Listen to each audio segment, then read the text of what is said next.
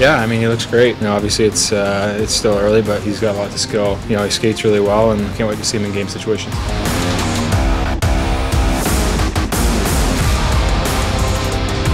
He, he looks big and strong, like his uh, his maturity out there. You know, he looks like a, a man. He doesn't look like a, a junior player or, somebody who can't step in the league right away. So I'm looking forward to seeing him, uh, you know, in a game or you know in a high-paced practice at camp. So it's gonna be fun.